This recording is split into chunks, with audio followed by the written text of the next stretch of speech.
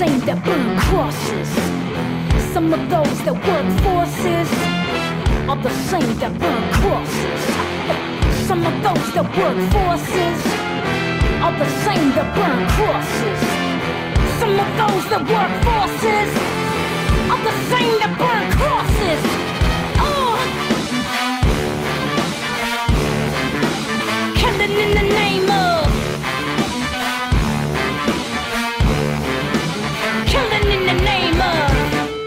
Now you do what they told. You Welcome to another special edition of WLRN's podcast series.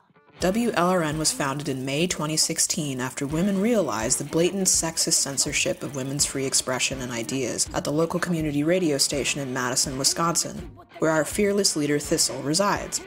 We have been crafting a monthly podcast ever since and occasionally branch out to do special editions like this one when the occasion arises. And what an occasion it is! We are broadcasting today in celebration of the launch of the Women's Human Rights Campaign in the USA.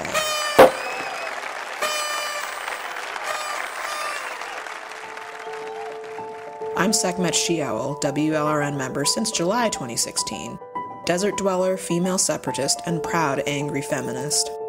The focus of this special edition is on the organization and thought behind the Women's Human Rights Campaign, or WHRC, and what organizers hope the campaign will do to help the plight of women worldwide. In today's program, we'll hear excerpts of interviews Thistle did with Vajra Ma, spiritual leader and woman centered activist participating in the launch and development of WHRC USA, and with Carol, 40 year old detransitioning woman from California. WLRN shout out to Brie Jontry of Fourth Wave Now for referring us to Carol and to Carol for granting us an interview. We wanted to hear both from WHRC USA leadership and from a detransitioning woman for this episode, because detransitioning women are one of the demographics hardest hit by gender identity culture and politics, something the WHRC specifically organizes itself around. Thanks for listening. I'll catch you on the other side of the interviews with my commentary on this momentous occasion of women getting organized around our sex based rights on this stolen parcel of land called the United States. You are listening to WLRN. Brought to you by the totally excellent radical feminists at Women's, Liberation, Radio, News.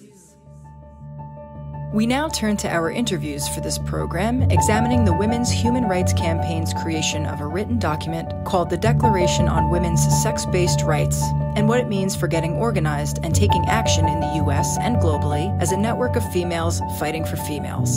Vajra co chairs the interim steering committee of WHRC USA. She is co founder and president of Shakti Moon Foundation, dedicated to woman as the creator of culture and original guide of humanity. She has taught feminist spirituality and body knowing since the late 1980s, and her essays are published in six anthologies. Vajra Ma is the creator of the award winning website women's spirituality.org. 30 interviews with the founding mothers of the spiritual component of second wave feminism. Here now is an excerpt of an interview Thistle did with Vajra back on July 13th in preparation for WHRC USA's launch. Okay, welcome to WLRN Vajra Ma. Thank you. Good to be here. So, we're talking today about the formation of the WHRC USA, the Women's Human Rights Campaign here in the good old USA, and your role in it and how it's related to the larger international group. Can you just introduce yourself, say a little bit about yourself, and how you found out about the WHRC USA and how organizing is going? Yes, um, I'd love to. I, um, as for myself, um, I'm an older woman and very glad to be doing this work and that this is happening around the, around the world. This move for global solidarity. Uh, I am a um, feminist spirituality teacher, and my feminism came. I came in through uh, spirituality, women's spirituality. Uh, I learned about the Women Human Rights Campaign. You know, I actually don't remember somehow online, and I saw it, and so I signed. And then I started. I uh, through Facebook, I connected with people who were involved. Um, and so that's how it happened, and that's how it always happens. It always happens through some kind of a network, doesn't it? Um, right now, Thistle, I am on the um, I'm the co-chair of the steering committee uh, that we have um, for the USA branch, which has just been going on for maybe like about three months, maybe um, started, and um, there are about I would say 12 of us who are actively involved, including you. And uh. Um, I want to just give a picture to everyone out there what the Women's Human Rights Campaign is, and very briefly, their summary is this: the and it's you can find this at womensdeclaration.com, and the declaration reaffirms women and girls' sex-based rights and challenges the discrimination we experience from the replacement of the category of sex with that of quote unquote gender identity. And so the campaign is to educate and then advocate in legislatures, uh, in the law, in schools, in the public awareness, to advocate for the damage that, uh, advocate for the preservation of women's sex based rights, which are being damaged by gender identity replacing the definition of sex in the law. Mm-hmm. So that's basically what it is. You can sign the declaration. You can sign it as an organization or as an individual. And you know, right now, just so people know, I have the statistics on that. How many have signed? They, I know that they've hit over ten thousand now, ten thousand signatures. Yeah, and yeah, and in 171 countries, I believe it is. Well, okay. Yeah. And and there the international group is holding weekly webinars. Can you tell our listeners a little bit about those webinars? Oh yes. Yeah. Okay, here it is 10,505 individual signatures from 117 countries. Yeah. Yeah, these teleconferences that the UK, uh, you know, Women Human Rights Campaign is based out of the UK. And it was founded by Sheila Jeffreys and Maureen O'Hara and um, Heather Brunskell Evans they're the authors of the declaration. And so for a few months now, like maybe three months, I don't, I don't know how many months, I've attended all of them. They're having weekly teleconferences on Saturdays, Saturday mornings at 7 a.m. Pacific time. And this, of course, is a different time in the UK. And these panels that they're giving, these are live panels that are recorded and then also put up on their YouTube page so people can look at them afterwards and they're very well edited so it moves along quickly but and you know what's what's really exciting about those panel yeah. discussions is the presence of an audience you can feel the energy from all yeah. over the world because it's like hundreds of women that you are are united are coming to have a dialogue have a discussion and get reports from other women in other parts of the world and that's what I find so exciting about it is the live aspect of it. I do too. That's why I show up every every Saturday to watch it and mm-hmm. to feel into it, like you're saying, and to feel the connection globally. Women from all kinds of different countries, and it's in English. You know, bless their hearts. These women from that who are multilingual, who are speaking in English. You know, for the sake of this teleconference, uh, and they usually have about four women on a panel, and they're talking about what's going on in their country. And women can send in questions in advance to be answered. So that's fantastic. Um, uh, mm-hmm. So it's very much interactive. And I was on one of the panels, and so were you. So uh, yeah, that was that was. It's pretty cool that way. It's so it's like because it's it's giving a platform to feminists and feminist activ- activists and organizers and then those women start talking to each other which is what i feel like is happening with the whrc internationally but also specifically in the united states. So the the declaration was first presented in new york city and wlrn was there to cover it with a cell phone, you know, because no major media was there, and it was like at a secret location. Uh huh. Um, and that was in 2019. It was, you know, last year, not this year. Mm-hmm. And so it took a little while for us to gain enough momentum for the USA group to be conceived of. And can yeah. you talk about how it's been in the last approximately, I think you're right, three months, mm-hmm. and now leading up to the launch, which this interview is going to be a part of our launch? What have been the goals? How did those organizers, those 12 women or so, come together? And how did they know each other? how have things been going with group dynamics and getting our wheels in motion?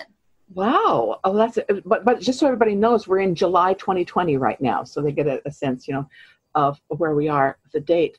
I came in through the woman that started the organizing. Her name is Sabina, and she. I'm trying to think this. So I don't really remember quite how the others came in and how we found each other. I just know that Sabina had um, organized a Zoom conference. And so women, um, somehow she got the word out, and the women that showed up are the women that showed up. Interesting. It'd be interesting to yeah, trace yeah. how that happened. Well, she was, my experience of that is I was invited by Sabina, who was the country contact for the U- USA WHRC group, to be in a group with Kara Dansky and Natasha Chart. And we started talking as a group. Mm-hmm. And I then I noticed that Sabina was making all these different groups and bringing us all together and there were so many groups but yet and so it all kind of like sifted into this what we have now mm-hmm. um, and, and and it's amazing because just as an organizer thinking of the things that we've already achieved without even having like our structure in place over the last three months it's been mm-hmm. kind of awesome what, what i like about that thistle you're touching on is that we've been working organically We've been working by what's my desire? What do I want to bring to this? What excites well enough so that that organic process can happen without having to have some bureaucratic structure. We're setting up some structure that's necessary. So we're talking about, I was talking about how we've been unfolding, we're a small enough group, like 12 or 15 of us, to be able to just unfold organically saying, oh, I like this, this excites me, I want to do this, I want to do that, and following that natural desire uh, of what excites you and is, is what is how we've been developing so far without a lot of bureaucratic structure and i think what we're also focusing on thistle as you know is to keep the bureaucratic structure as simple and bare bone as possible so that we have this room to move organically. So we don't get caught up in the bureaucracy and the rules and that sort of thing. You know, rules really come out of courtesy and uh, making things move along without getting stuck. So, to whatever extent we need those rules, we're, we're applying them, but we're making sure that we don't get um, into some kind of bureaucratic um, red tape with each other. And I think we're doing mm-hmm. a good mm-hmm. job think we're doing a good job. And like you said, there's a lot of things we already have rolling for the launch, you know, to make our debut and get the word out um, about what we're doing here uh, with the campaign. Yeah. There are also things that we've already achieved, which is amazing considering that we don't we don't know each other that well. This group that's been sifted and now has come together and you know there's going to be some more women that are coming on board now that we have our yeah. volunteer application that's yeah process yeah so yeah. it'll be fascinating but you know the the whrc usa solidarity group that was born out of that desire and that passion and that flame. And the knowledge that you we can be autonomous. You know, we don't need to always, we can speak for ourselves as a subgroup. Yeah. And we just so, so quickly because there was some protest about that. Like because at first the group one of the groups that sabina created had like 32 women in it. Remember that? And she sent out this email about the green party and mm-hmm. it kind of it it turned into some problems. And we were able to overcome that by allowing those women who were interested to form their own group and put their own names on it and do their own thing. And then lo and behold, we had a success within the Green Party. Yes. You know, um, with the, the letter to the delegates that we sent. Well, tell them about that. was time sensitive Tell we, everybody, we couldn't wait. Well, tell everybody about it. Tell them nobody knows what you're talking about yet. Tell them what happened with the Green Party and what that was about. It's very exciting. I mean, there's so much happening with the Green Party, and I don't understand all of it, like the structure of the National Committee and how those people are called delegates, and then there's also like the convention delegates, and so there's there's all this stuff that I'm learning about. I just know that Proposition 1019, which was about entering, getting language in, in the national committee policies about the seats and the gender parity language that's already in there that intends for the seats to be at least 50% women. Mm-hmm. Well, the trans activists in the Green Party are saying, oh, we need to change this language because it's not inclusive of transgender and non binary and asexual identities or all these other identities besides just men and women. Mm-hmm. And so, you know, there's this proposal to create seats, 50% of the seats would be for non binary or something. I don't remember the exact de- details. But then what became the logical conclusion was that then those 10 seats could theoretically be held all by all men, you know, because yeah. men can identify as being non non-binary. And so we didn't want that proposal to pass. and there was like a voting period and a deadline for us to get our letter to these delegates to try to influence the vote. And so it was really hard because we didn't have the whole WHRC USA behind us. We just had this little subgroup that we were working in and then there were like some divisions and difficulties in our in our subgroup as well. I mean, it was fascinating from like a sociological perspective to just watch how women finally were able to come to an agreement and get that letter out and then how much of a splash that letter made in in the well, na- on yes. the national level yeah the green party the green party tabled the vote and they backed down yeah. so this was really yeah. important and this is a really good example of how a small group of women can have a profound effect. And so, as we look at, at becoming globally uh, solid, our global solidarity with Women's Human Rights Campaign, we can, you know, multiply that exponentially. You know, small groups of women in all these different countries uh, taking actions like you did with the Solidarity Group with because um, and what's also wonderful about the teleconferences every week is because we we start to see we see real faces with real women. And so when we have these teleconferences and when we are we are connected into the women's human rights campaign we feel that collective we feel that collective.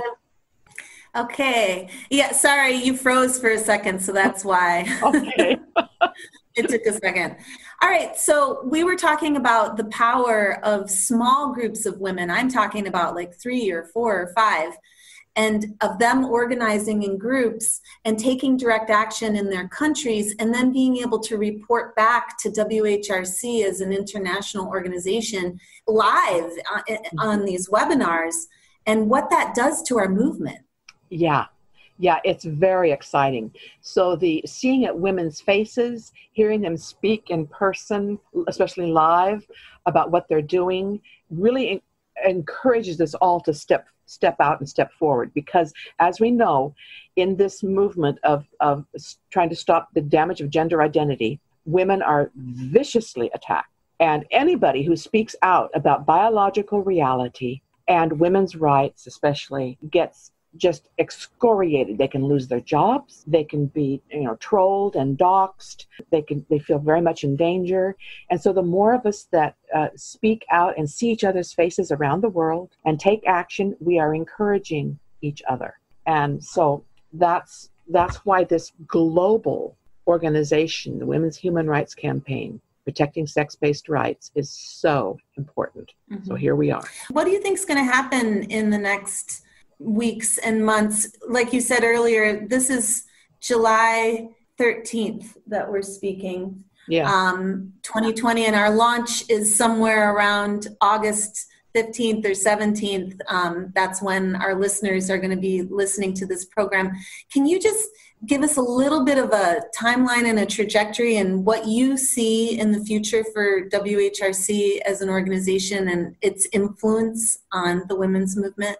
I can't say, you know, who could say what would happen in the next month, but I do know that things things grow logarithmically. It's like a snowball, right?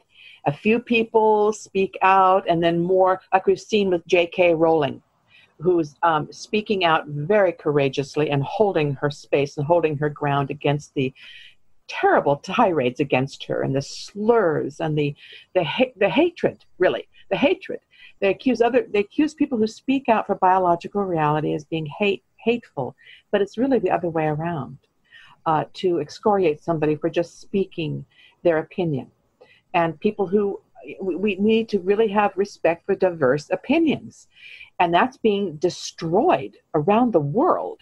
So it's very important. I think one of the most important things that that the women's i'm kind of getting off on a different angle than what you asked but the, for us to speak together as women uh, around the world um, uh, helps to combat this horrible censorship that's going on of free speech so i think that we're going to grow logarithmically and, and I use J.K. Rowling as an example of someone who is like leading the way in being able to face the onslaught of vicious slander and attempt to destroy people's work and their right to free speech.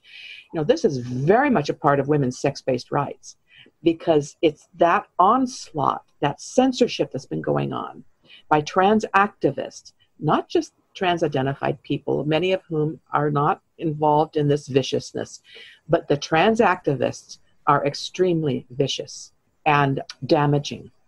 So, the more we come together and feel our global solidarity, the more we're going to be able to protect everybody's rights to free speech and to mm-hmm. being able to, uh, and for women to have maintain our sex based rights as women. We mm-hmm. have fought for centuries for this. Well, thank you so much, Vajra. Be courageous, women, and join the WHRC today. And it. um, it's mm-hmm. so, it's so wonderful to talk with you and to work with you. And I hope we have many weeks and months and years ahead of us working together in the women's movement and working on women's rights and also the rights for all citizens to participate in society free of fearing reprisal. Yes. So thank you. Thank you. It's wonderful to be here.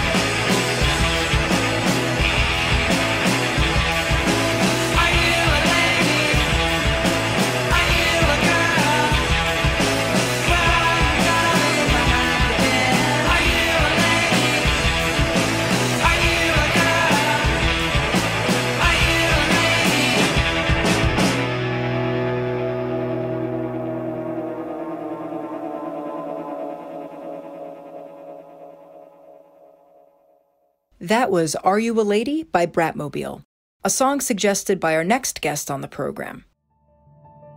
In this excerpt, you'll hear Thistle speaking with Carol, a 40 year old detransitioned lesbian who lives in California with her wife and son. Carol spent four years identifying as a trans man and undergoing medical transition, including ingesting hormones and having her breasts surgically removed. During that time, she was perceived as a male in social and professional settings. Now, in the process of reclaiming her womanhood, Carol is focusing her energy on helping other D trans people find a community, particularly women who don't conform to gender stereotypes. All right. So, welcome to WLRN, Carol. Thank you so much for granting us an interview.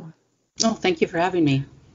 Why don't we get started with you just telling our listeners a little bit about yourself, when you transitioned, how old you were, and what was your life like at that time? Like, what was going on in your life that pushed you towards transitioning? Okay. Um, I was 34, almost 35, when I started um, the transition process, when I started taking testosterone. Four months into taking testosterone, I had a double mastectomy. I was first exposed to the transgender kind of ideology or the idea of being trans when I was only about 21. In the lesbian community, it uh, kind of seemed like overnight all of the all of my friends who were just butch women suddenly started identifying as trans men. Um, most of them didn't transition because at that time uh, there was some pretty heavy gatekeeping still involved in the therapeutic community.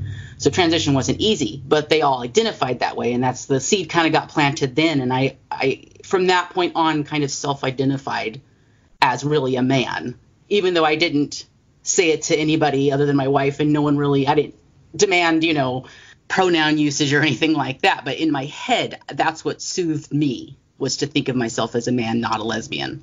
And then fast forward to 32, 33, me and my wife had just adopted uh, our son. I became a parent for the first time. It was very stressful. Me and my wife's relationship wasn't going well her brother and my very close friend committed suicide, and it really kind of drove the family into a crisis mode.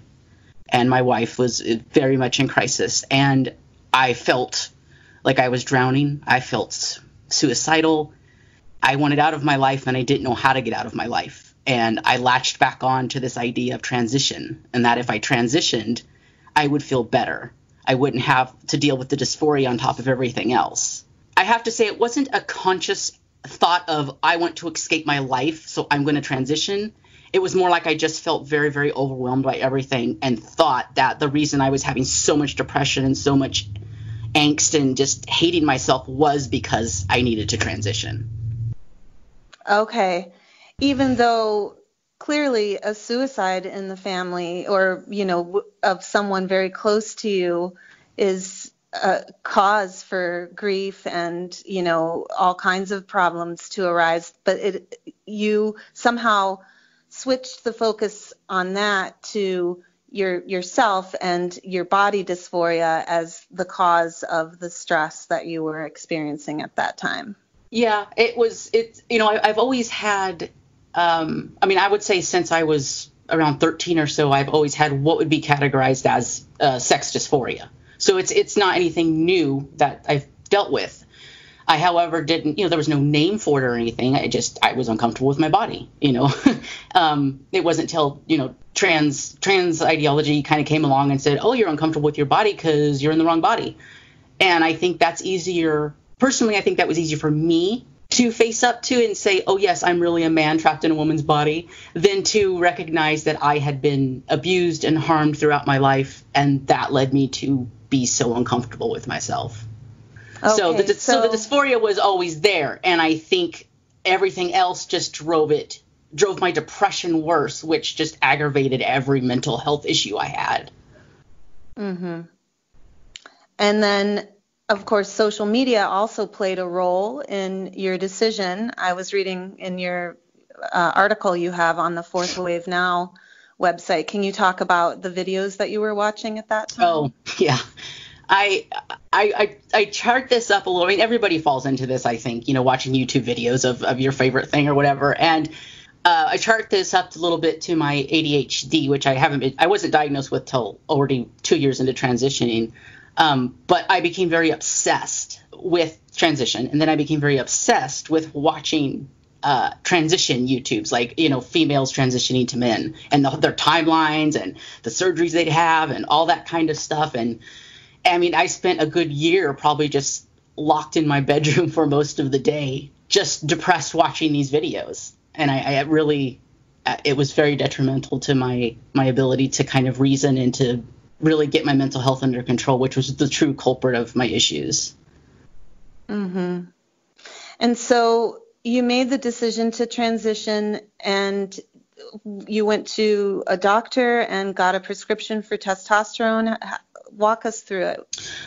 I I actually I wasn't completely sure I still wanted I was wanting to transition. I wasn't sure. Uh, I I felt like I was probably trans, but I wasn't sure. I really just was kind of waffling on it. I was really I didn't want to medically transition. It scared me, but I felt like that was the only option I had to feel better. And so I actually did go see a therapist, even though I didn't have to in my state. I could have just walked into a Planned Parenthood and got testosterone probably the same day. But I did go see a therapist and I was saw her for about three or four months. And when I went to see her, the first thing I said to her in our first visit was, I think I might be trans, but I don't know. I need help f- figuring it out. Well, fast forward four months and she pretty much just affirmed, affirmed, affirmed everything, didn't question anything, and really it kind of, I think, encouraged me down the path of transition as really the only way to deal with my issues. Okay. And so, you know, then and she uh, she also wrote me a letter for to be able to transition. Although she didn't need to, it's just kind of one of those things. They still are you kind still in touch with this therapist at all? I'm not. No. No. I haven't been in touch since I had my mastectomy because as soon as I scheduled the mastectomy, she was like, "Okay, you're good to go. See you later." So do you feel abandoned by this therapist? you know, not really. I really was in a very, I felt like I was in a very positive place, and I, I felt like after my mastectomy, I felt really happy, and everything seemed to be looking up. So that was fine. In hindsight, now after detransitioning and looking back, I've had to work through some real, real hatred towards her because Oh. she didn't, she didn't help me. She, she made it worse, and she didn't ask any questions she should have. She never asked any questions about my me being a lesbian. She didn't ask questions about homo- internalized homophobia or homophobia I had experienced or childhood abuse or anything. Nothing of that was ever talked about. Is about. there is there any legal recourse for this? Did you consider suing her? I did, and I did look into it. It's very, very hard to sue a therapist.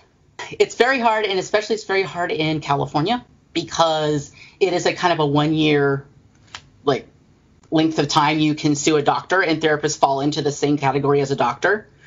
And it's it had already been four or five years since I saw her. Yeah. And then on top of that, there is no actual guidelines uh, for helping people or for dealing with people who have uh, dysphoria or who are trans identified. There are no like guidelines or, or well, there's guidelines, but there's no rules. No one's held accountable to follow any guidelines. So uh, there's been there'd be nothing for me to point to as anything she did wrong that would hold up in court. Yeah.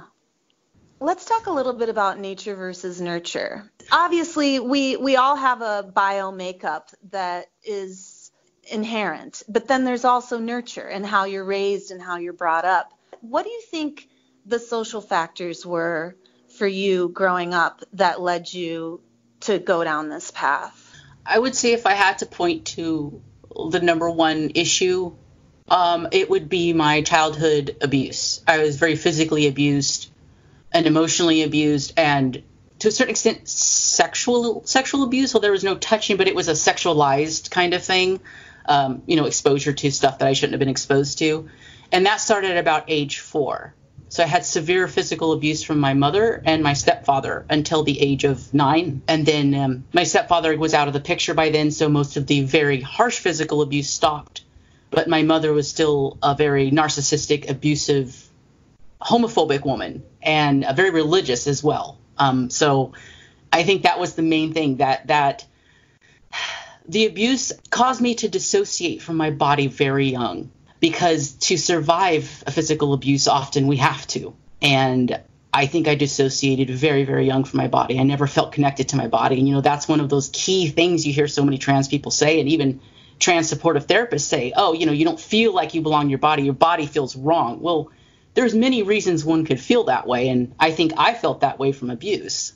Kind of the second part to that is the the homophobia. My my mother was very homophobic and um would point out to me very young people she thought were gay and and warn me that they would try to kidnap me or molest me or do all these kinds of things. Um, also, I was quite a tomboy. So, from a very young age, I would say seven, my mother would often tell me I needed to stop acting like a boy, act like a girl. I walked like a boy, I should walk like a girl. So, I was very hyper aware and conditioned to kind of be aware of these sex or gender stereotypes and to understand that I wasn't performing them correctly. Right. Let's let's continue talking about homophobia and how transgender ideology has actually a homophobic element to it. How has transgender ideology impacted the the lesbian community? Before you transitioned, talk about what you saw going on and then how your community was impacted while you were transitioning and then how it impacted you and your community after. Okay. Well, I, as an older person, so when I transitioned, I, I wasn't too involved in my local gay community much anymore, about person to person level, because, you know, I think that happens to a lot of us lesbians. We get married, we settle down, and we don't really go out and do much anymore. But when I was when I was younger, um, early 20s, when I first came out in, in the community, that's when I would say the first or maybe the second, I don't know, but a big wave of, of identifying as trans came through about 2002. And that was when, you know, it seemed like overnight all the butch women just started to identify as men. And I, I was very taken back by that. And I think really it just boiled down to stereotypes. It boiled down to them not wanting to be perceived as butch, but wanting to be perceived as men because it, it, and, was easier. and maybe not wanting to be perceived as lesbian, not wanting to be perceived as gay. Is that a part of it too? I I think so. The the big thing, yeah, I remember the the big thing with that is um, calling myself a lesbian now is is I do that on purpose because I was always so scared to say that. And when I first came out, we didn't use lesbian anymore no no woman I was ever around, except if they were much older, used the term lesbian. Everybody called themselves gay because lesbian just seemed like icky. I use it now because it's, it's for me it's more of a political statement too, and it's it's something that needs to be I think brought back. So yeah, I think there's there's there's been I mean the gay community has has internalized homophobia. Obviously, that's we're not without it, and I think that's why we feel so hard for trans ideology. So you transitioned you after four months of testosterone treatments, you had your breasts removed. Mm-hmm. You remained on testosterone for how long after that? About four years. I was on total uh, total of four years. And what happened to your body during those four years?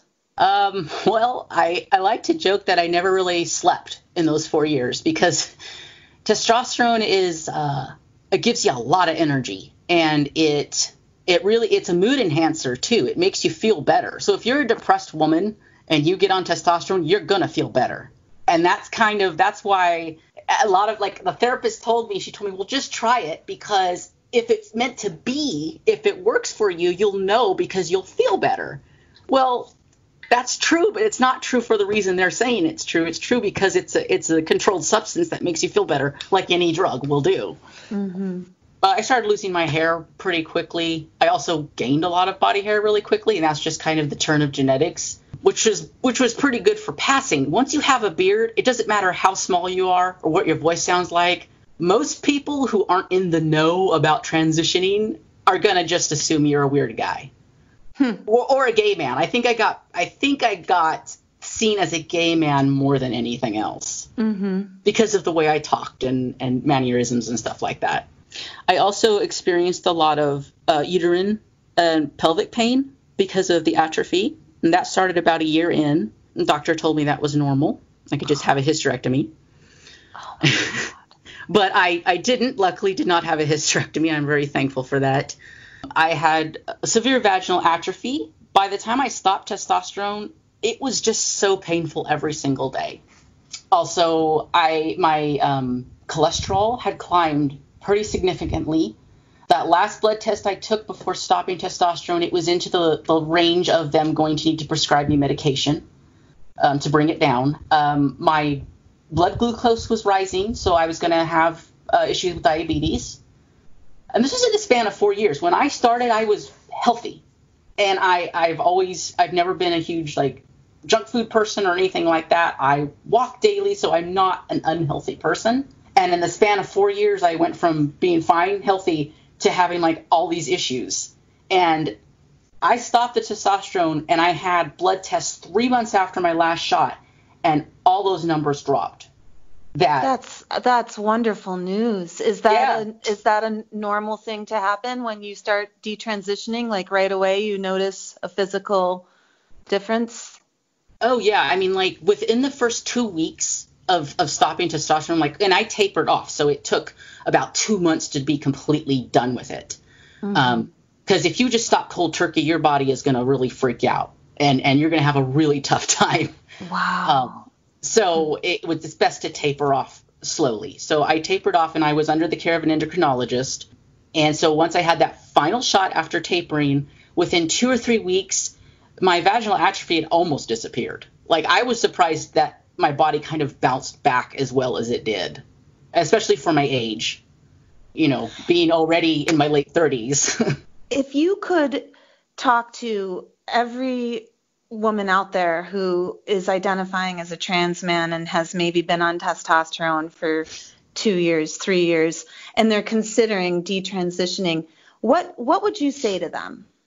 I would say that it is probably the most healthy thing you can do both for your body and and your your mental state because testosterone and and living that kind of life kind of in my opinion it's it felt to me like living a lie every day and it not to say it didn't help my it didn't help me in some ways but it did harm in other ways and to me it was just a wash so ultimately the healthiest thing you can do is to leave your body alone leave it alone and let it exist as it's meant to exist the solution to disassociation from the body is reconnection to the body, right? Mm-hmm. How how have you reconnected to your body through all of this? I have to say that the thing that's really helped me is to understand the reasons why I dissociated, to understand what the dissociation is, and then to get reacquainted and tied in with with my femaleness, with being a woman, with embracing that. And I, I have to say that's where radical feminist ideas and um, support groups and things like that have really helped.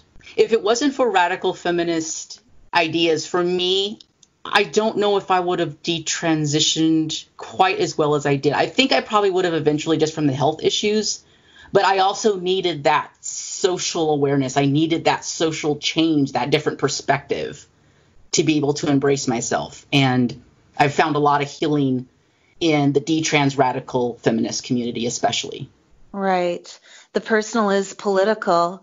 And mm-hmm. that brings me to uh, something else I wanted to talk about today, which is the Women's Human Rights Campaign and the work that Sheila, lesbian feminist Sheila Jeffreys is doing, uh, along with thousands of women across the world, hopefully hundreds of thousands at some point, to to really get our our leaders, our our politicians and governments to understand that what women need are sex-based rights, mm-hmm. and that sex is not the same as gender identity. Can you talk a little bit about your political activism and how you know what your plans for the future and what you want to do now that you're in the radical feminist community i've definitely refocused myself to be very very female focused and and to really i hope to go back to school and um,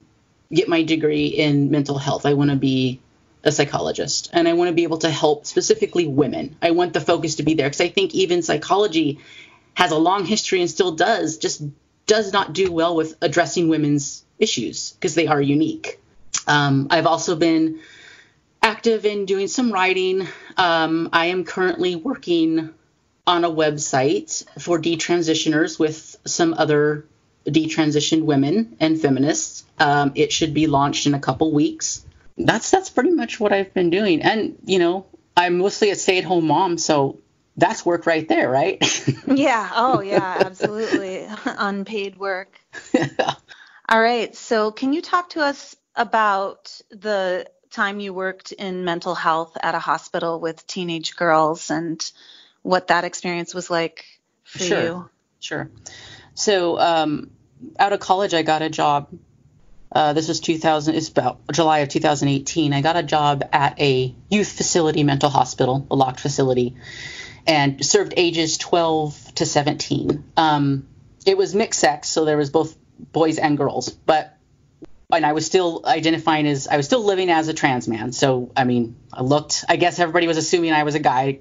Can't read minds, but I was living as such. It's something that struck me uh, when I started working there is how many of these girls came in identifying as trans. Now I I'm older and I came I kind of came from the older trans idea that um, to be trans is very rare and it's you know a medical condition and you transition to alleviate it and blah blah blah. And that's what i thought about myself. But when i started seeing so many of these young girls come in claiming to be really trans men or non-binary or whatever they were identifying as i was like what, what is going on here? This is this is just this is this just shouldn't be. This shouldn't be this many. And the other thing that struck me is so many young tomboyish or butch girls I, would look at him and, and, you know, the first thing that popped in my head is, oh, look at the little lesbian. Like, she's going to grow up, she's going to be a little lesbian, little butch girl. That's cute. But they weren't. They were identifying as men. They were identifying as trans men. And I felt like there was this there was this shame in me and there was this this sadness in me. And I wanted to reach out to this one girl in particular. I wanted to reach out to her and tell her it's okay that you're a lesbian. It's okay that you're butch. You can grow up and you can have a good life. And then I thought, I can't tell her that though because I'm sitting here with a beard with my boobs cut off because I couldn't do it. And that just that sunk me. I that really drove something home to me that my motivation for transitioning probably had a lot to do with my internalized homophobia. Yeah, and what an intense realization. Which brings me to the next thing I wanted to talk to you about is the conflict sometimes between radical feminists who have not transitioned and radical feminists or women who have transitioned. The subject matter of what we're what we're dealing with here is so hard. Mm-hmm. and i would imagine i mean you're unique in being able to speak so freely and openly and i'm so grateful but and so are all of our listeners. We want i i can speak for myself only but i know that also the wlrn Collective is extremely grateful to have you on our program because this stuff is really hard to talk about. Yeah, it is. It definitely is. And, and it's so, and it's so personal. Yeah. Right. It's so personal. So can you can you just t- tell us a little bit about your experiences with radical feminism and radical feminists and detransitioning and the detransitioning community and some of the conflict that you've seen there? So, some of the major conflict I've seen is that often what happens is radical feminist group whatever the group may be is you know can be very supportive and really reach out and and take in detransition women and and that can be very healing and that can be very good however what i have seen sometimes and what I have heard other detransitioners who are a bit older than me talk about is sometimes we can be used as tokens to get across a political message. And um, sometimes there is a loss of sight that we are women who hurt and have been very hurt by patriarchy and have hurt ourselves because of patriarchy. And especially if you're newly detransitioned, it's a very vulnerable and like sensitive time and you can't really be thrust into the spotlight. You can't really be put into a political realm. Even if you say you want to, I think we got to be aware that you know most of these women are looking for some way to like make a difference and get back and get out some of that that anger and sadness but at the same time like healing has to come first and i think sometimes that that is kind of a conflict there and also another thing I, i've seen is that for women who have never experienced that kind of hatred of your your female body of your female self it's really hard for them, I think, to wrap their head around why you would do, why you would transition. And I think that's kind of a key to understanding our motivation because most of us, the vast majority of us, didn't transition because we wanted to have a better life or we thought we could get male privilege or something like that. We transitioned because we hated ourselves and we wanted to destroy ourselves, uh, destroy the femaleness in some way. And I, I, I just wish there was kind of an understanding and compassion there for that aspect of it. That we're we've been very hurt by by our society, by patriarchy. Yeah. Well, thank you so much for sharing with me today and all of our listeners. It's it's really been awesome to talk to you, Carol. Oh, thank you. Thank you. It's been it's been it's been great to do this interview. So speak out, speak over, speak under, speak through the noise.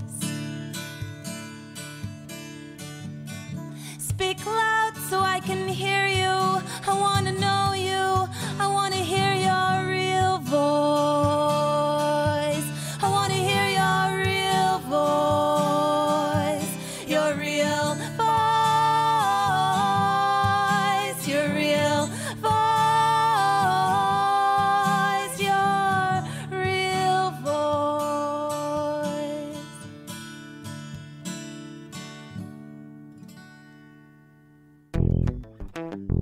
You are listening to WLRN.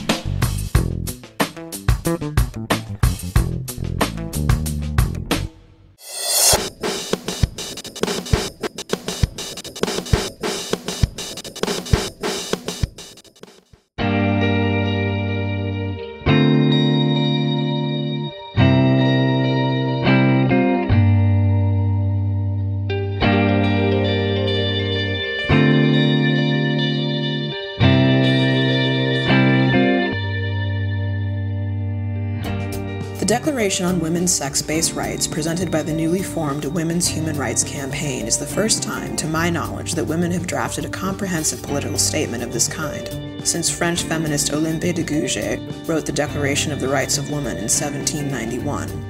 Women in the 21st century have uniquely modern problems in addition to the ancient ones we'd never resolved, and we were long overdue for a unifying political statement on our sex based rights that speak to our current reality. The WHRC Declaration's first article establishes that women's rights are based upon our biological sex, and it makes sense the writers would start here given the current political climate in many developed countries. Without acknowledgement of the female sexed body and its value, vulnerability, and meaning to males, any other right women might claim for themselves becomes inapplicable and indefensible when attacked. The only thing all female human beings have in common, regardless of their race, sexuality, class, physical and mental health, age, religion, etc., is biology. And it is because of our biology, our sex, our reproductive capacity, our lesser physical strength compared to males, that we have, as a sex, been oppressed in the same ways all over the world for thousands of years. Denying biological sex as the exclusive definition of femaleness, of womanhood and girlhood, leads to the erasure of specifically misogynistic oppression of the female body, and prevents us from explaining why we as individuals are raped, killed, stalked, forcibly impregnated, denied abortions, etc., by the male sex. Men understand this, which is why they now so aggressively try to replace biological sex with gender identity in their definition of woman, girl, and female. They purposely seek to obscure what should be blatant fact to any sane person that women are uniquely sexed and differently sexed than men in order to sabotage women's pursuit of human rights and access to single sex spaces and services.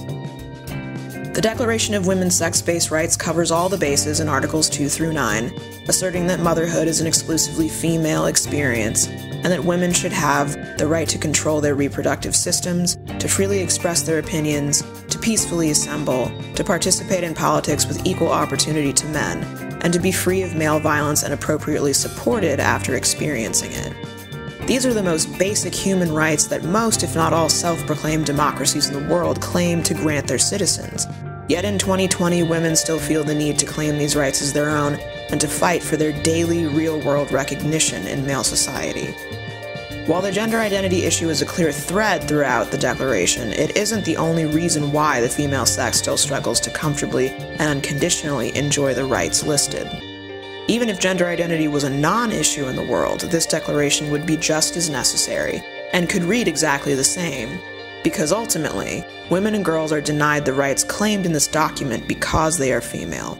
Gender identity is only the latest weapon men use to oppress women or else defend their pre existing methods of oppression. It appears the women who wrote the Declaration understand this perfectly. As of this recording, over 11,000 people have signed the Declaration of Women's Sex Based Rights, representing 118 countries and 233 organizations. These numbers should encourage you. They demonstrate a significant amount of support around the world for the most essential women's rights. The number of signatories and their home nations also show us that women everywhere can agree on our basic rights despite our many differences with each other. Such unity is always the beginning of effective political action and its resultant change. Strength in numbers, as the idiom goes. The greater number of women who unite with each other behind a feminist platform, the more power we have collectively to triumph over male oppression and resistance to our progress. The mere act of drafting a Declaration of Rights is a bold and assertive move on women's part. We are no longer passively accepting our oppression. We are sending men a clear message Women are human beings, and we will not tolerate being treated as anything else.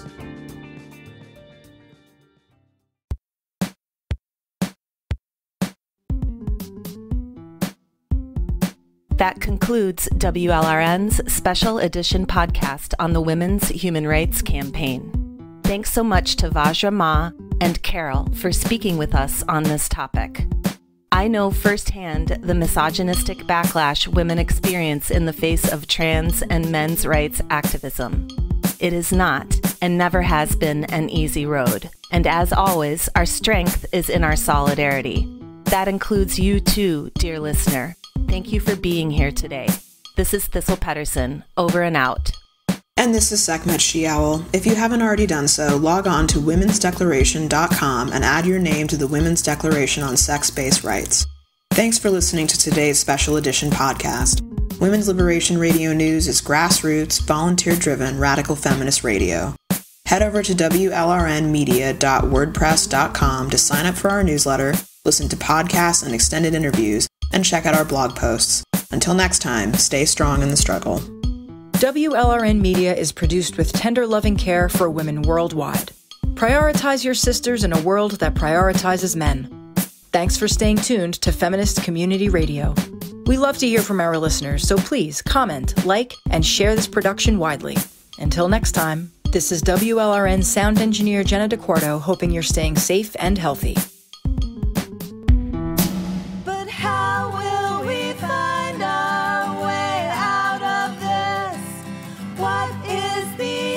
The for the patriarchal kiss? How will we find what needs to be shown? And then after that, where is home? Tell me, where is my home? Cause gender.